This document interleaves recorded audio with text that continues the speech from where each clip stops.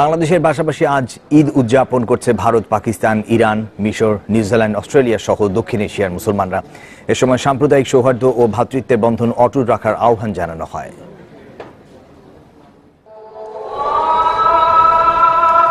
বুধবার সকালে দিল্লির জামে মসজিদে ঈদের নামাজ আদায় করেন কয়েক হাজার মুসল্লি। ভারতের অন্যান্য বড় শহরেও ঈদের নামাজ আদায় করেন মুসল্লিরা। ঈদের শুভেচ্ছা জানিয়েছেন ভারতের প্রেসিডেন্ট রামনাথ কোবিন্দ, প্রধানমন্ত্রী নরেন্দ্র মোদী। ভারতের মুসলমানদের ঈদ উল ফিতরের শুভকামনা জানিয়েছেন কংগ্রেস সভাপতি রাহুল গান্ধী এবং পশ্চিমবঙ্গের মুখ্যমন্ত্রী মমতা ব্যানার্জিও। এ সময় শান্তি ও সম্প্রীতির লক্ষ্যে সকলকে একসঙ্গে কাজ করার আহ্বান জানান তারা। ইসলামাবাদে ঈদের নামাজ আদায় করেন পাকিস্তানের প্রধানমন্ত্রী ইমরান খান। এক টুইট বার্তায় ঈদের শুভেচ্ছা জানিয়েছেন তিনি। রাওয়ালপিন্ডির ঈদগাহ শরীফ দরবারে ঈদের নামাজ আদায় করেন শত শত পাকিস্তানি। তবে মুদ্রাস্ফীতির কারণে এবছর বেচাকেনা তেমন একটা ভালো হয়নি বলে অভিযোগ রয়েছে। উৎসব মুখর পরিবেশে এশিয়ার বিভিন্ন দেশে উদযাপিত হচ্ছে পবিত্র ঈদ উল ফিতর। সকালে রাজধানী জাকার্তার আল আজহার মসজিদে ঈদের নামাজ আদায় করেন ইন্দোনেশিয়ার কয়েক হাজার মুসল্লি। ঈদের নামাজ শেষে শান্তি ও সমৃদ্ধির বাণী দেন মসজিদের ইমাম দিন সিয়ামুদ্দিন।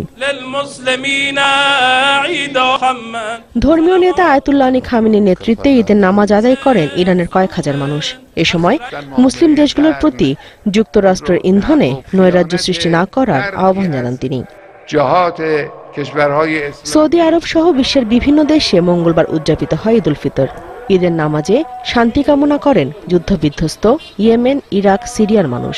রাজনৈতিক অস্থিতিশীলতা আর সহিংসতার মধ্যেই মঙ্গলবার ঈদ পালন করেন সুদানের খার্তুমের বাসিন্দারা। Nusrat Serin, Independent News. বৈরী আবহাওয়ার কারণে ভারতের হিমালয়ে নিখোঁজ আট পর্বতারোহীর মরদেহ উদ্ধার অভিযান বন্ধ রেখেছে কর্তৃপক্ষ। বিবিসিকে তারা জানিয়েছে, উদ্ধারের তিনটি চেষ্টা ব্যর্থ হওয়ায় কর্মীদের ফিরিয়ে নেওয়া হয়েছে। বেশ কয়েক দফা তুষারপাত আর পর্যাপ্ত সরঞ্জামের ঘাটতির জন্য এই সিদ্ধান্ত নেওয়া হয়েছে। পাঁচ পর্বতারোহীর মরদেহ সোমবার সন্ধানের পর অভিযানের নামে বিমান বাহিনী। গত তেরো মে সাত হাজার আটশো ষোলো মিটার উচ্চতার পর্বত জয়ের উদ্দেশ্যে অভিযানের নামে বারো সদস্যের একটি দল। তবে বৈরী আবহাওয়ায় চারজন ফিরে আসেন। ছাব্বিশ মে নন্দা দেবী পর্বতে তুষারপাতের পর থেকে বাকি আটজনের খোঁজ মিলছিল না। দলটিতে চার ব্রিটিশ, দুই মার্কিন এবং অস্ট্রেলিয়া ও ভারতের একজন করে নাগরিক রয়েছেন বলে নিশ্চিত করেছে কর্তৃপক্ষ।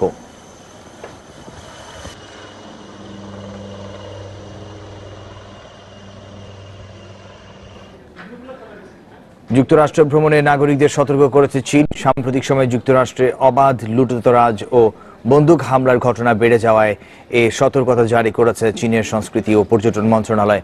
বিবৃতিতে বলা হয়েছে, বর্তমান সময়ে যুক্তরাষ্ট্র ভ্রমণ সবচেয়ে ঝুঁকিপূর্ণ। সেই সঙ্গে চীনা নাগরিকরা যুক্তরাষ্ট্রের নানা হেনস্থার শিকার হতে পারে বলেও আশঙ্কা বেইজিং এর এদিকে চীনের এমন পদক্ষেপে দুই দেশের চলমান বিরোধ আরও বাড়বে বলে আশঙ্কা করেছেন রাজনৈতিক বিশ্লেষকেরা। পাল্টাপাল্টি শুল্ক আরোপ আর চীনা প্রযুক্তি, জায়ান্ট হুয়াওয়ের সঙ্গে যুক্তরাষ্ট্রের বৈরিতায় দ্বিপাক্ষিক সম্পর্ক একেবারে তলানিতে রয়েছে বিশ্ব অর্থনীতির দুই পরাশক্তির।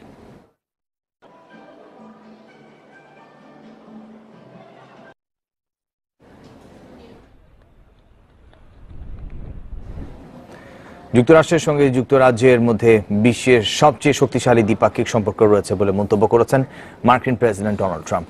মঙ্গলবার ব্রিটিশ প্রধানমন্ত্রী থেরেসা মেয়ের সাথে বৈঠকের পরে মন্তব্য করেন তিনি।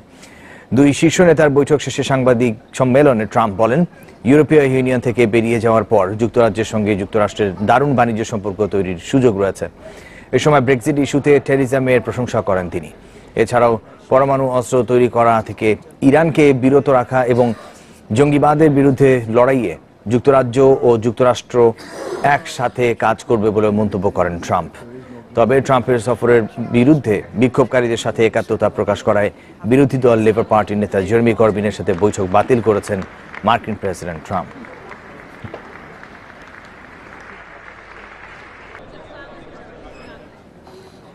কিউবা নতুন করে ভ্রমণ নিষেধাজ্ঞা জারি করেছে কিউবায় নতুন করে ভ্রমণ নিষেধাজ্ঞা জারি করেছে ট্রাম্প প্রশাসন।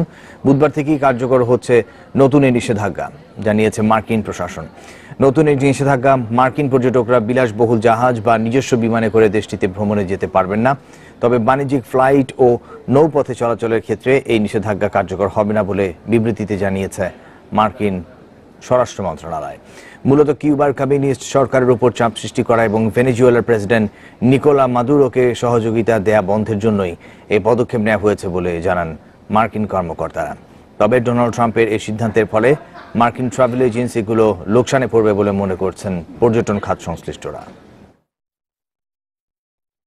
আমি নিরাপদ গণতন্ত্র পুনরুদ্ধারের দাবিতে সোমবারের বিক্ষোভে নিহতের সংখ্যা বেড়ে হয়েছে সাত জন। চলতি বছরের এপ্রিলে প্রেসিডেন্ট ওমর আল বশিরকে উৎখাত করে দেশটির নিয়ন্ত্রণ নেয় সেনাবাহিনী। প্রতিবাদে সোমবার খার্তুমের সেনা সদর দপ্তরের বাইরে অবস্থান কর্মসূচি পালন করে হাজারো মানুষ। বিক্ষোভকারীদের দমাতে সেনারা গুলি চালালে হতাহতের ঘটনা ঘটে। এদিকে বেসামরিক নাগরিকদের উপর গুলির ঘটনায় আন্তর্জাতিক সমালোচনার মুখে সুদানের সামরিক সরকার। উদ্ভূত পরিস্থিতিতে আগামী নয় মাসের মধ্যে নির্বাচন অনুষ্ঠিত হবে বলে ঘোষণা দেন মিলিটারি কাউন্সিল প্রধান lieutenant general Abdel Fattah Burhan.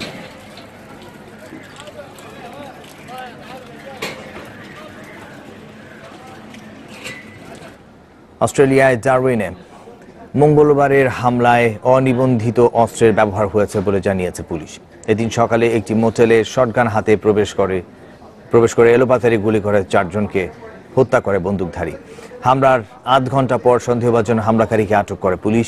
তারা জানিয়েছে, পঁয়তাল্লিশ বছরের ওই সন্দেহভাজনের বিরুদ্ধে আগে থেকেই বিভিন্ন অপরাধের অভিযোগ ছিল।